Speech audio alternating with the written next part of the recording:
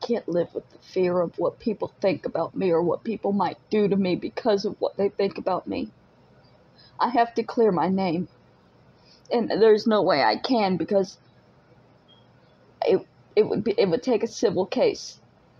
So, but because what they're accusing me of now are criminal charges, even though I can't sue them for slander and defamation like I could if I had the money, I myself am going to go to the police station today and I'm going to turn myself in and I'm going to give them my phone and I'm going to ask them to investigate me for the crimes that he's accusing me of.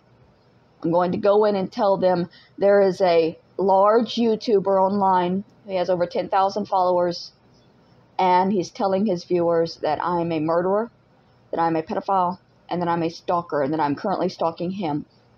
And I need to be vindicated in the eyes of the law. I need these charges to be investigated. I need there to be something to show that I am not doing these things. Because I can't live with it hanging over my head, and I can't afford a lawsuit to stop him from lying. And these kinds of lies are life ruining. These are the kinds of lies that will that will have me killed. Somebody will murder in me in, murder me in the street if they think that I am that person. Which is why he's telling them that I am.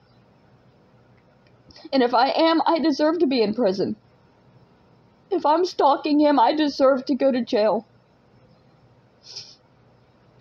So I hope the police find something and lock me up.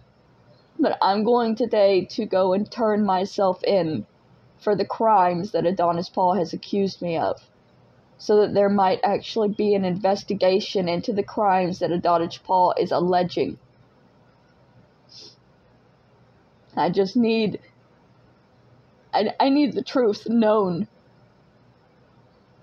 At all cost, I need the truth known.